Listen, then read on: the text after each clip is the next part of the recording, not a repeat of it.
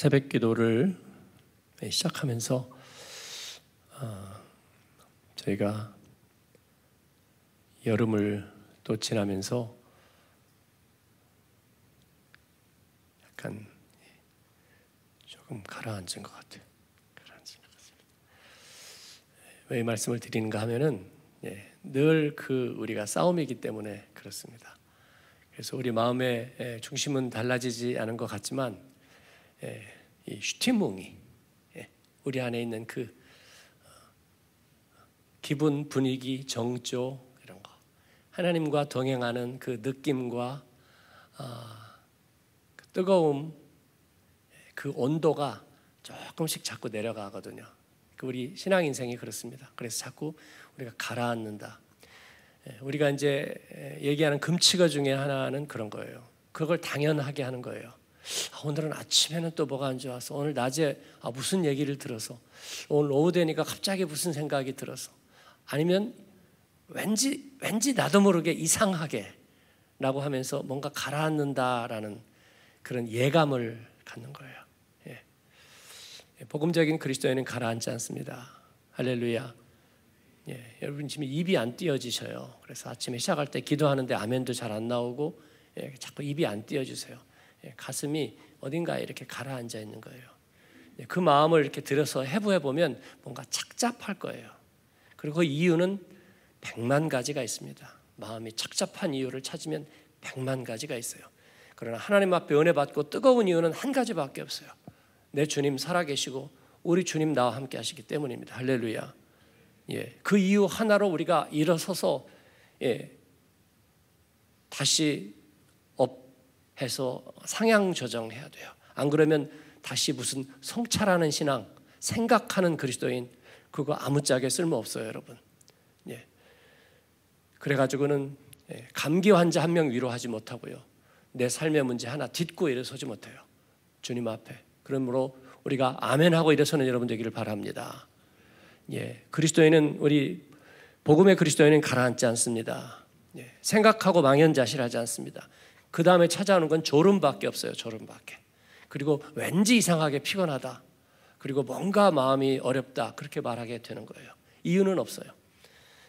우리가 거기에서 벗어나는 저 여러분 되기를 바랍니다. 예. 하나님 나라 갈 때까지 죽을 때까지 는 up돼 있다가 하는 거예요. up돼 있다가. up돼 있다가. 상향 조정하고 up돼 있고 하나님 앞에 예. 새벽에 두 명이 모이든 다섯 명이 모이든 아니면 순모임에 QT하고 준비하고 온 사람이 한 가정밖에 없든지 어떻든지 우리는 축제처럼 예배하는 거예요. 예, 그래야 우리는 승리할 수 있는 줄로 믿습니다. 오늘 다윗의 얘기는 만조백관과 사람들을 설득하고 무슨 예, 도네이션을 요구하기 위해서 뭐 자리 마련한 거다. 저는 전혀 그렇게 보지 않습니다. 다윗은 그런 사람이 아닙니다. 시편에서 만난 다윗은 그가 메마른 땅을 걸어가도 그 황무지 가운데 있어도 그리고 원수의 눈앞에 있어도 오직 하나님을 갈급하고 사모하고 그 하나님으로 만족되고 부족함이 없는 그런 영성을 가진 사람이에요. 그렇기 때문에 그는 모델이고 모든 사람 앞에서 자기의 고백과 찬송을 기꺼이 그리고 그 마지막 순간에 이제 모든 것을 그는 마무리해야 되는 그 순간에 그래서 그에게는 마치 회한과 여러 가지 아쉬워하고 회고해야 될 일들이 남아있는 존재처럼 보이지만 그러나 그는 그 순간에 다시 시작하고 있습니다. 오늘 다윗의 10절부터 13절까지는 어, 찬양입니다. 간증과 같은 찬양이에요. 어, 이런 마음을 모르는 성경 주석가들은 이것이 다윗과 그 공동체가 가지고 있던 찬송이라고 얘기합니다. 리터지라는 거예요. 어, 참 딱합니다, 여러분. 하나님을 찬양하는 걸 여러분 콘티 써가지고 리터지 가지고 합니까? 하나님을 예배하는 것을 내 마음속에 하나님을 향한 내 주 하나님을 향한 마리아의 찬가에서 내 영혼이 주를 기뻐함은이라고 하는 그의 찬양이 리터지예요. 예, 초대교회의 리터지. 예, 그래서 어, 전자올겐 들어가고 그 다음에 내 영혼이 내 주를 기뻐함은 그렇게 시작하는 거예요. 헬라어로. 여러분 참 딱합니다. 딱해요.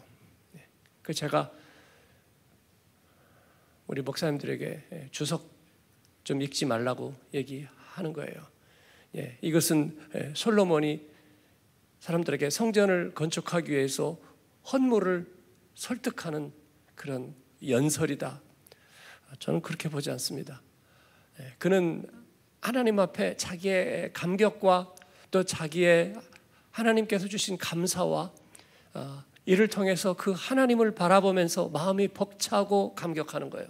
그래서 그의 기도는 지금 마무리하는 기도가 아니라 시작하는 기도입니다. 예, 그의 인생의 마지막 황혼이 비끼고 있지만 예, 그는 하나님과 시작하고 있습니다. 할렐루야. 예, 우리는 그렇게 사는 것입니다. 우리가 마무리해야 될 일은 없습니다. 우리는 늘 시작하고 하나님과 함께 시작합니다. 주님의 영광을 위해서. 그러므로 여러분 우리가 임종의 순간이 있다 할지라도 우리는 업되어 있어야 하고요. 하나님 앞에서 어, 일을 저지를 준비를 하고 예, 그렇게 주님 앞에 열려 있어야 되는 줄로 믿습니다. 예, 그렇지 않으면 우리들의 묵상이 날마다 오늘은 뭐가 발걸음이 무겁고 몸이 아프고 어려운 일이 있으나 그럼에도 불구하고 이런 금치거 목록 나열이 될 거예요.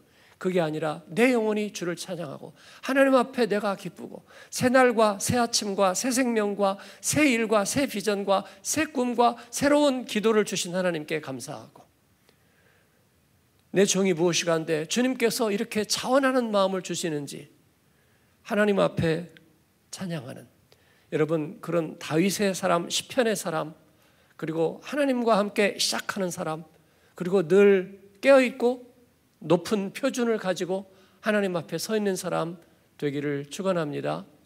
아멘.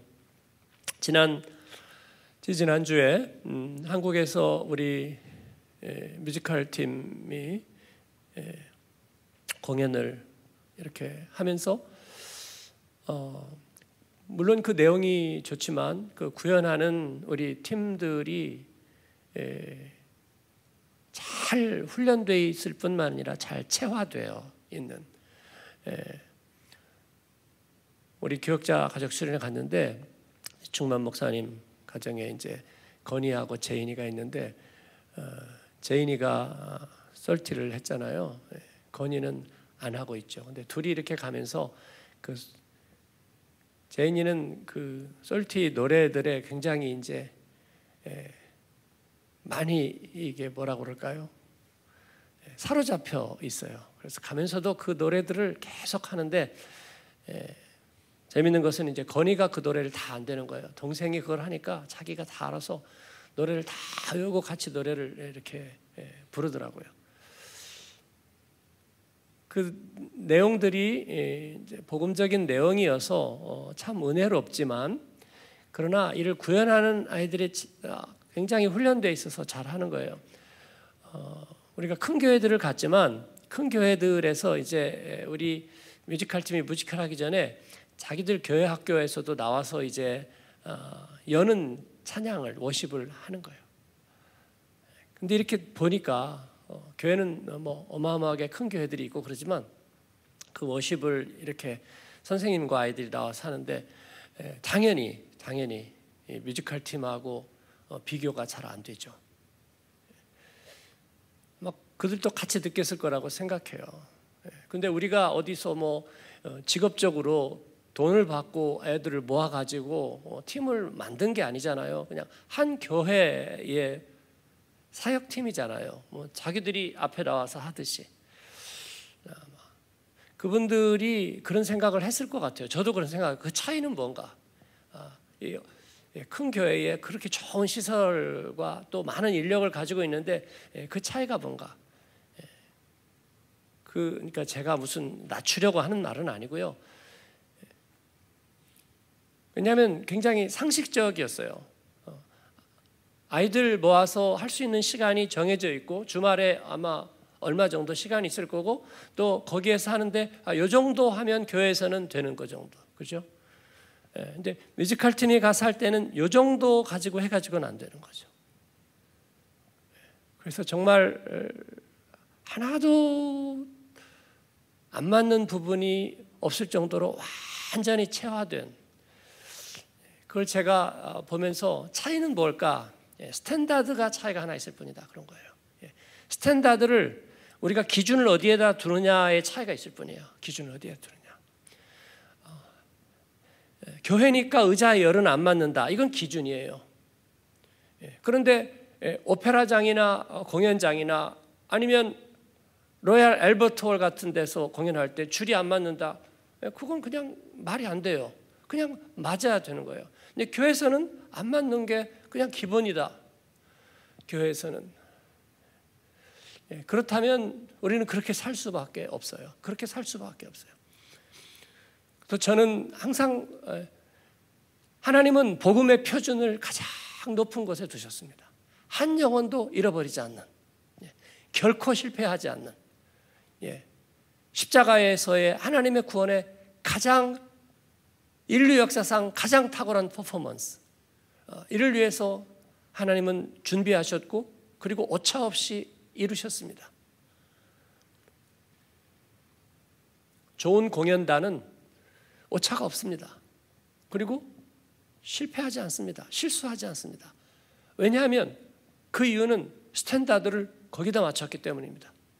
그리고 그것을 스트레스라고 말하지 않고 그것을 부담이라고 말하지 않습니다. 영광이고 그리고 그들이 가진 예, 권세입니다. 그렇지 않나요? 저는 우리 그리스도인이 그런 권세를 갖게 되기를 바랍니다. 그런 표준을 갖게 되기를 바래요. 사랑하는 여러분, 예, 그래야 우리는 열매 맺고 영혼을 사고 하나님을 기쁘시게 할 수 있는 줄로 믿습니다. 지치지 않는 사람들, 물리지 않는 사람들, 하나님을 찬양하면서 찬양하고 찬양하고 머리가 물이 되어도 하나님 앞에 우리가 찬양할 수 있는 사람들, 그런 하나님의 사람들 되기를 바랍니다. 예. 나이가 든 세대라고 요즘 찬양은 모르겠어요. 마음에 안 들어요. 여러분, 그건 변덕이에요. 예. 세월이 바꾸고 음악, 음악의 장르가 어떻게 바뀌어도 하나님의 찬양은 여전히 계속 되는 거예요. 그렇죠? 예, 우리는 또 배우고 마음을 열고 다시 시작할 수 있다는 거예요. 다시 시작할 수 있습니다. 물론 온고의 지신이기도 하지만 그러나 새로운 일에도 우리는 마음을 열 수 있다. 어, 제가 찬양도 좋아하고 노래도 좋아했는데 어느 순간에 내가 왜 이렇게 찬양을 못하는가 생각을 했어요. 그 이유가 어, 요즘 찬양이 굉장히 예, 뭐랄까요? 어려워졌다고 해야 될까요? 아니면 예, 뭔가 새로워지기 때문이에요. 그래서 그것을 내가 익히고 익숙해져야 돼요. 예, 그건 어, 요즘이 이상해졌거나 아니면 나하고 맞지 않아서 그런 것은 아니에요. 예, 전에 슈발 박혔을 때 키보드 반주하던 집사님이 목사님 저희도 새로운 찬양 나오면 100번 정도 들어요. 목사님도 100번 정도 들으세요. 저는 보니까 한 번도 안 들었더라고요. 그리고 찬양팀이 찬양할 때 한번 불러본 게 전부예요. 그리고 내가 찬양이 잘 안 된다고 말하는 것은 어불성설이죠. 예. 반주 묶인 사람도 100번을 듣는데 예, 그런 거예요. 우리가 어, 표준을 어디에다가 어, 잡느냐에 따라 달렸어요. 말씀이 어렵도다. 예. 우리가 말씀에 대한 사모함의 표준을 높이면요. 우리 다섯 살 아이들도 다 이해해요. 그리고 독일어가 주된 언어인 아이들도 말씀을 이해하고 섭취할 수 있습니다. 예, 배고프고 목마르면 예, 우리는 뭐든지 할 수 있어요. 예, 여행 갔다 오면서 뭐를 마셔야 될까? 그랬더니 제 아내가 H2O를 달래요. H2O면 된다고. 콜라고 뭐고가 아니라 뭐 가스물 아닌 물이 아니라 H2O면 된다. 그렇습니다. 목이 마르면 H2O면 다 흡수할 수 있는 거예요. 그렇지 않습니까? 예, 배가 고프면 양식이 될 만한 것은 무엇이든지 우리가 흡수합니다. 하나님 앞에 다윗처럼 목마르고 또 갈급하고 사모하고 그 갈급함과 사모함과 주님의 말씀에 대한 standard가 주님이 기뻐하시는 분량만큼 높여진 저와 여러분 되기를 축원합니다. 그래야 우리가 탱크가 될 수 있는 거고요. 그래야 우리가 플랫폼이 될 수 있는 거고, 그래야 우리가 모델이 될 수 있고, 그리고 그래야 우리가 축복의 발원점이 될 수 있는 줄로 믿습니다. 다윗은 오늘 그 찬양을 하나님께 올려 드리고 있습니다. 10절에서 13절 우리가 다 외웠으면 좋겠다. 특히 11절에서 13절은 다 외웠으면 좋겠다. 감사한 것은 우리가 11절을 외웠잖아요. 12절, 13절 외워서 붙이면 아 그렇구나. 위대하심과 권능과 영광과 승리와 위엄이 다 주께 속하였습니다. 예, 천지에 있는 것이 다 주님의 것입니다. 그리고 12절도 같이 한번 읽을까요? 부와 귀가 주께로 말미암고 또 주는 만물의 주제가 되사 손에 권세와 능력이 싸우니 모든 사람을 크게 하심과 강해 하심이 주의 손에 있나이다. 13절 이 우리 하나님이여 이제 우리가 주께 감사하며 주의 영화로운 이름을 찬양하나이다. 아멘. 여러분 어, 뭐가 연상이 되시나요? 성경 속에서 뭐가 연상이 되시나요? 주님 가르친 기도가 연상되지 않나요? 어, 저는 분명히 그렇게 확신합니다. 예수님은 다윗의 시편에서 많은 부분을 인용하셨어요. 하나님의 아들이기 때문에 야 니들이 했던 잔챙이들이 했던 거 다 필요 없어. 니들이 큐티했던 거 그거 야 나는 그거 보지도 않아. 그러지 않는다는 거예요. 예. 우리들의 작은 한숨과 탄식과 그리고 우리의 읊조리는 작은 고백도 주님께서는 기억하시고 또 이를 귀하게 여기신다. 할렐루야. 그래서 예수님은 시편을 많이 인용하셨어요. 예. 예수님의 부활을 믿지 못하는 이들에게 율법과 선지자들에게 하나님의 말씀이 우리에게 가르쳐 주신 것을 조목조목 들어서 얘기하시는데 그 내용을 성경은 다 기록하고 있지 않지만 그 중에 상당 부분이 시편. 시편은 뭐예요? 예, 그런 아주 자잘한 신자들이 가지고 있었던 하나님에 대한 그 사랑의 고백, 예, 그것을 집대성한 것이 시편이잖아요. 그 가운데 하나님의 주신 영감이 들어있다는 거예요. 영감. 예, 우리가 매일매일 말씀을 묵상하는 것 안에 그 영감이 영감이 하나님이 주신 하나님이 펼쳐 보이시는 하나님의 생각이 마음이 들어 있다는 거예요. 그것을 주님은 다시 기뻐하셔서 접수하신다. 예. 그래서 예수님의 부활의 증거에 대해서 예수님 자신이 이 구약의 말씀을 인용해서 다시 얘기하신다. 그런 것처럼 예수님은 이렇게 기도하라 말씀하시면서 주님 가르치는 나라와 권세와 영광이 나라와 권능과 영광이 영원히 아버지의 것입니다. 라고 그가 고백하도록 가르쳐 주신 그 내용의 핵심이 바로 말년의 다윗의 이 고백 가운데 있지 않느냐는 거예요, 여러분. 예. 이런 것들이 우리를 전율하게 하는 것 아닙니까? 예. 그는 그렇게 찬양하면서 이제 자신의 인생의 마지막이 다가왔습니다. 관제와 같이 부음이 되고 그가 이제 떠나갈 날이 다가왔습니다. 바울이 그렇게 고백 했던 것처럼 그는 무엇을 생각할까요? 예, 그의 인생 가운데 하나님이 허락하신 그 모든 것을 하나님께 드리는 것이 자기의 인생의 가장 영광된 거였다는 것을 생각하게 됩니다. 성전을 위해서 자기가 모든 걸 준비하고 국고를 준비하고 했을 뿐만 아니라 자기의 인생의 모든 것을 하나님께 드리는 인생이 되었다. 그 드림의 영성에 대해서 그는 생각하고 있는 것입니다. 그 출발점이 뭐예요? 14절입니다. 같이 읽겠습니다. 나와 내 백성이 무엇이기에 이처럼 즐거운 마음으로 드릴 힘이 있었나이까? 모든 것이 주께로 말미암아 싸우니 우리가 주의 손에서 받은 것을 주께 드렸을 뿐이니이다. 15절. 우리는 우리 조상들과 같이 주님 앞에서 이방 나그네와 거류민들이라 세상에 있는 날이 그림자 같아서 희망이 없나이다. 아멘. 그는 자신의 인생을 보고 있습니다.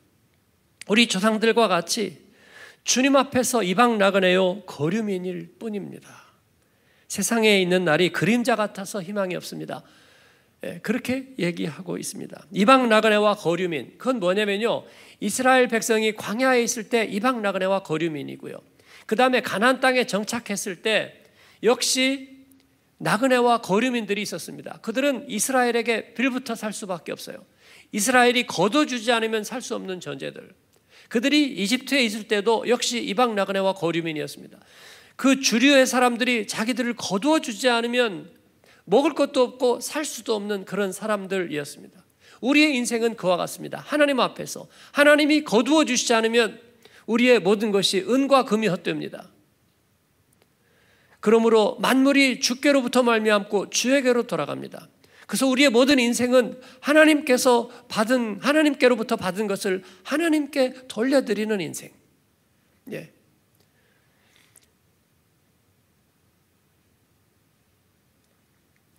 이것을 일종의 영적인 신진대사라고 얘기해야 될까요? 생명의 신진대사.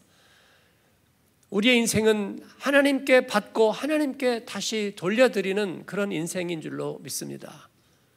이것이 우리들의 삶의 리듬이 되고 또 목적이 되기를 바랍니다.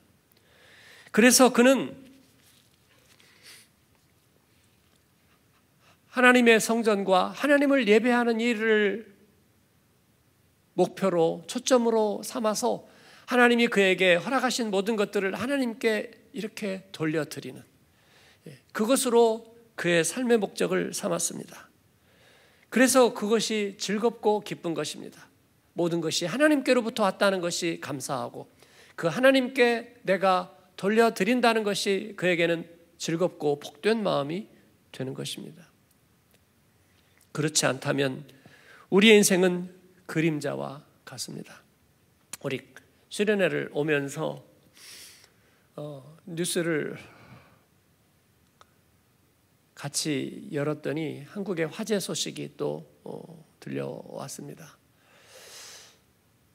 저희도 한국에 가면 이제 호텔이나 이런 데를 찾지만 제가 항상 어, 느끼는 게 그거였어요. 지금 불나면 답 없다. 제가 항상 예, 들어가면서 가는 생각이 그거였어요. 예, 비상구 표시가 정말 잘 모르겠어요. 계단 찾기가 진짜 어려워요. 왜냐하면 엘리베이터가 이렇게 잘 안 오잖아요.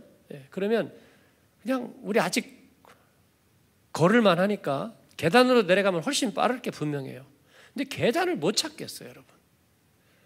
예, 계단 표시를 왜 이렇게 어렵게 하는 거예요? 저는 그게 아직도 잘 이해가 안 됩니다. 잘 이해가 안 되고요. 그리고 왜 호텔이 크지도 않았는데 일곱 명이 죽을 정도로 호텔이 크지 않은 뭐 전체 투숙객이 스물 몇 명이었대요. 근데 일곱 명이 죽었어요. 스물 명 중에서. 그러니까 혼잡해서 막 얽히고 설키고 그런 것도 아니에요. 그런데 거기에 고가 사다리가 와서 왜 구출하지 못했느냐? 주차된 차들 때문이었대요. 역시 그렇습니다. 소방도로는 비워져 있지 않았다. 영원히 같은 공식이에요. 여러분 예, 앞으로 한국을 여행을 하시려면 가지고 다니실 거 방독면, 예, 그 다음에 간이 낙하산 예, 하나씩 꼭 가지고 다니시기 바랍니다. 예. 왜냐하면 어, 아직도 그, 그와 같은 예, 왜냐하면 선진국의 룰이라면 당연히 있어야 될 것이잖아요. 우리가 이렇게 대단한 건물이 아니지만 예, 불이 나면 일단 천장이 열려서 예, 유독가스 빠져야 되는 거고요. 그리고 어디든지 툭 치면 나갈 문이 있어야 되고 아, 비상 탈출 그리고 거기에 대한 방송 또 예, 그게 있어야 되고요. 그 건물에는 스프링쿨러도 없었다고 예, 그럽니다. 비상구 표시가 제대로 되어 있었을까? 예, 방문 앞에 만약에 그럴 경우에 비상 루트라든지 그게 선명하게 눈에 보이게 되어 있었을까? 그러지 않았을 거라고 생각하고 또 거기에 대한 설마 그런 일이 일어날까라는 생각들이 다 있었을 거라고 생각합니다. 어, 아쉬운 일이지만 또 이를 위해서 수고하고 애쓰고 고통받은 이들에게 제가 어, 그렇게 하려는 생각은 물론 없습니다만은 이 세상에 있는 날이 그림자 같아서 희망이 없습니다. 우리의 인생이 그런 것입니다. 하나님께서 그러한 우리들에게 예, 목적을 주시지 않았다면 하나님께서 우리에게 그런 은혜를 주시고 우리가 살아갈 이유가 되시지 않는다면 우리 인생은 얼마나 허망한 것인가 하는 생각을 갖게 됩니다. 다윗은 자기가 인생의 모든 과제를 다 이루지 못했습니다. 당연히 그렇습니다. 그러나 그는 하나님으로 인하여 부족함이 없었고 만족하고 그리고 그 주님께 자기의 인생을 다시 돌려드리고 그러기 위해서 자신은 준비된 삶을 살았다는 것이 하나님 앞에 생각할수록 감격스럽고 감사한 일이 되는 것입니다. 제가 어제도 우리 격자들과 그것을 회고했습니다. 어느 날 카메룬에 갔을 때 제가 한 5년 정도를 카메룬을 매년 갔었거든요. 가서 목회자 신학생들에게 복음 집중 강의도 하고 또 선교사님들도 격려하고 그런 일도 계속했고 또 단기 선교도 갔고 어느 날 주일 아침에 화창한 햇빛이 비치고 그다음에 어, 종소리가 거기에서 종소리가 이렇게 울렸습니다. 거기서 이렇게 산책을 하고 있으면서 가만히 생각하는데 그 동안에 한 5, 6년 지나오면서 우리 교회와 성도들이 그 카메룬과 거기에 뭐 신학교 또 여러 교회들 한 일들이 이렇게 생각이 났습니다. 그런데 한 일들이 너무 많은 거예요. 수십 가지가 생각났습니다. 그러면서 아 우리가 뭐 대단한 일을 하려고 하지 않았고 그때 그때마다 자원하는 마음으로 이렇게 하려고 했던 것들이 뭐 도서를 기증하는 일들, 시청각실을 만들어 드린, 그다음에 인터넷을 깔아준 것들, 그다음에 컴퓨터를 쫙 갖다 놔 그리고 또 한 번 개비했던 일들, 스테인글라스를 바꿔준 기숙사를 짓는데 어, 저희가 어, 몇 번에 걸쳐서 헌금했던 일들, 그다음에 교회를 여러 군데 건축했던 것들, 이런 것 저런 것, 선교사님들을 또 필요한 것들을 지원한 것들, 어, 그리고 거기 현지 스탭들을 그때마다 가면 격려도 하고 이렇게 선물도 전하고 했던 것들 해보니까 정말 그 아이템이 수십 가지가 넘었습니다. 수십 가지가 넘었어요.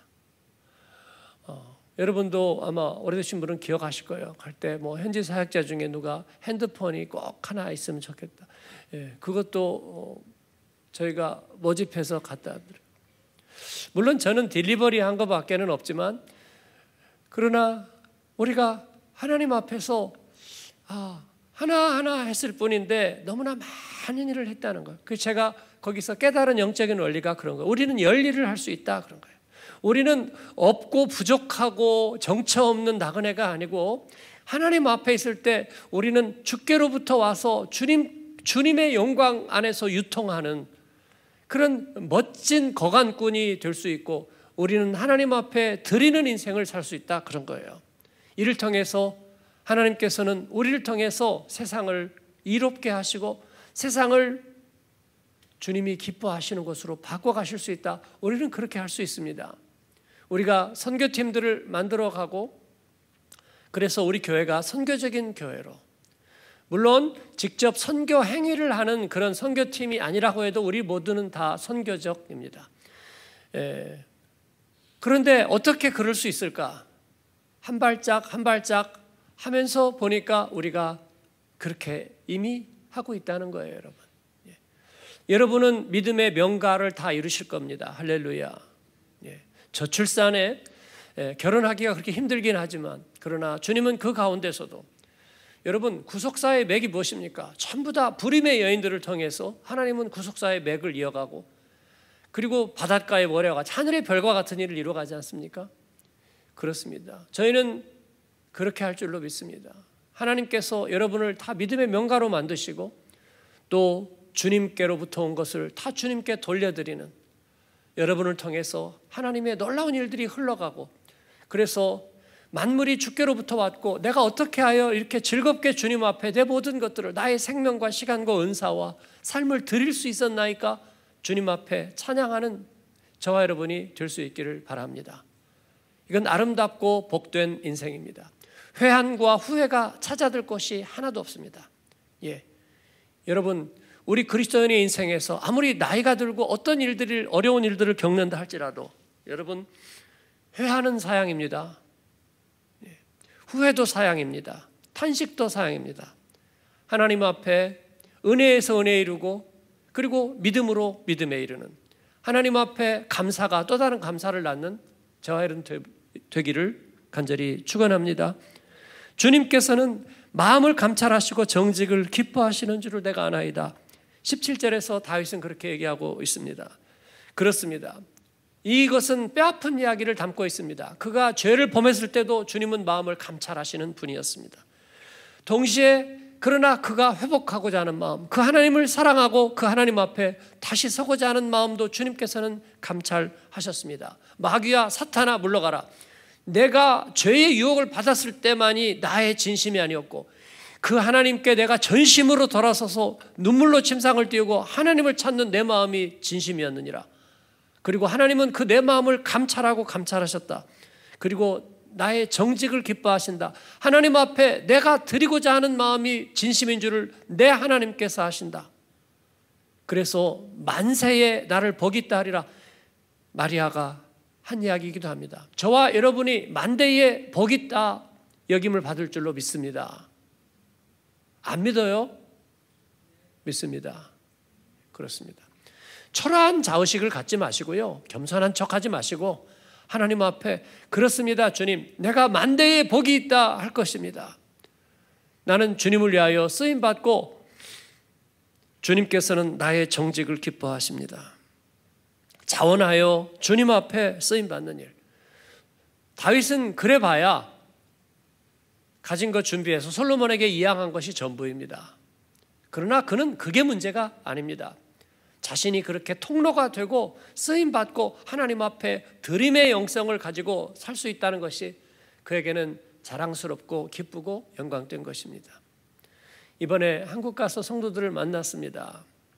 이렇게 저렇게 음, 어, 이제 뭐 공연할 때 만나고 예배할 때 좀 만나고 그래서 그 중에는 이제 저를 에, 뭐 서울에서 설교하고 또 수원에 가서 설교하고 주일날 막 왔다 갔다 하는데 시간이 별로 없어가지고 택시 타고 또 막 발을 동동 구르면서 시간 맞추려고 그랬는데 저를 이제 태워다 주기도 하시고 예, 그러면서 이런 저런 분들 만났어요. 어, 제가 만나는 분들마다 아, 그렇습니다. 예, 인생 후반전은 쓰고 사십시오. 모으지 말고 쓰고 사십시오. 수입 계획 세우지 말고 지출 계획 세우시고 다 쓰십시오. 예, 꼽을 쳐놓은 거, 숨겨놓은 거, 투자해놓은 거 다 쓰십시오. 어, 제가 그런 얘기를 했어요. 그렇습니다. 그것이 우리들의 인생의 리듬입니다. 하나님 앞에. 어, 저희도 마찬가지입니다. 디아스포라니까 아직 제대로 한 것도 없다고요.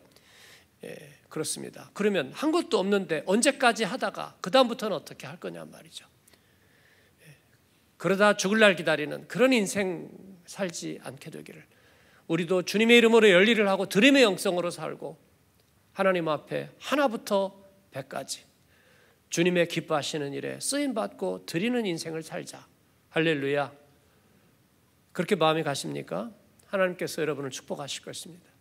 그리고 다윗과 같은 후회 없는 인생을 사실 것이고, 예. 여러분을 통해서 모든 것이 흘러가는 진정한 부자로 하나님께서는 쓰임 받게 하실 것입니다. 그런 여러분을 축복합니다. 아멘. 우리 찬송하고 기도하겠습니다.